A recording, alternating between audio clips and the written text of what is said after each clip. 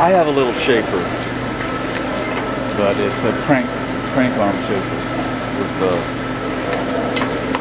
But this one here is uh, so cool. It the mechanism is more like like the the planer over there. Yeah, so it's got uh, these guys set how long this is going to run.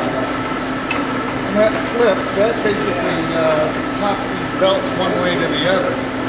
And uh, the uh, center uh, wheel is an idle and the outer ones are drive. And these belts are one's twisted, so it switches the direction of uh, movement. Right, uh, two rack and pinions inside. At the same time, this guy is advancing, which uh, moves the material over. And so it's able to keep making cuts. Actually planing a little piece of uh, metal right now, huh? Yep. Little piece of cold roll steel. That gives you a little karate cue. I think this is so cool. The, the I call it a jumping belt Yep. shaper. Belt jumping shaper.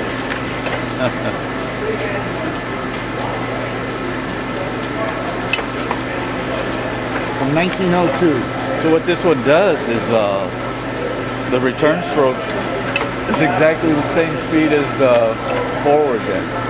Oh no, it's not. It, it goes back a little quicker. Now you got two different sized pulleys right there. Two pulleys up there, so it changes the speed there.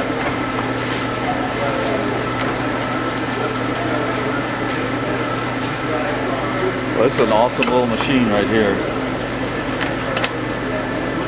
Well, thank you, Wade.